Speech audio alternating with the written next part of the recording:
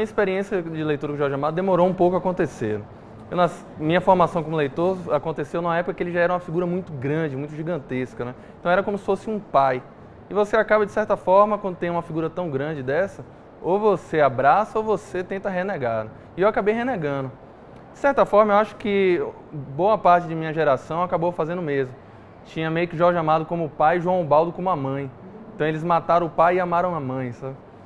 E aí você acaba se afastando um pouco e demora para você ter coragem a enfrentar isso, né? E aí quando você já está mais velho, você percebe que na verdade isso é, ó, é bobo, né? E aí você começa a ler e você se toma um choque, né? Eu comecei a ler, fui, comecei por Jubiabá, Mar Morto. Então você, você começa a entrar no universo, você toma um choque porque você percebe que é uma coisa muito maior até do que você imagina. Que ele tem um domínio da narrativa espetacular. Sabe? E tem uma construção muito boa que mesmo hoje você ainda encontra paralelos. Eu estava pensando, por exemplo, na festa de Emanjá. Você vai na festa de Emanjá hoje, 2 de fevereiro, lá no Rio Vermelho, e você chega na hora da oferenda final, que está aquele, o, o filho gigante descendo na batucada, tem os pescadores indo com a oferenda final, aquela multidão gigantesca, você se sente um personagem, cara. É uma coisa impressionante, você se sente ali dentro. É uma construção muito forte que deixa você impregnado daquilo. Né?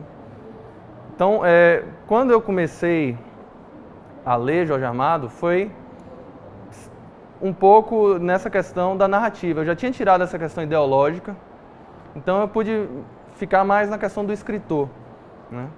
E aí eu cheguei em Quincas Berro d'Água, que foi o livro que mais me impressionou dele, pela questão da unidade, da coesão. É um livro que, para mim, ele não tem uma vírgula fora do lugar, ele não tem uma frase desnecessária.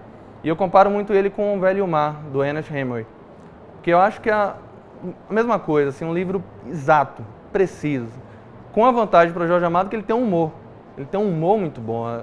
Eu lembro eu, quando eu, eu, tinha meus 18 anos e estava lendo, logo, logo, no começo ele falava da, que é o cara que morreu três vezes. E eu ria de, de gargalhada. Minha mãe passava e ficava, perguntando de que, é que eu estava rindo. É um, um, um, livro que muda muito. Tanto que agora, quando eu escrevo, eu penso muito nessa unidade. Sabe? Você faz aquela sua primeira versão lá, cheia de, de abobrinha, e depois você vai diminuindo, diminuindo, até você tentar deixar coeso, né? E vem muito dessa influência, com certeza. É um livro que influencia bastante.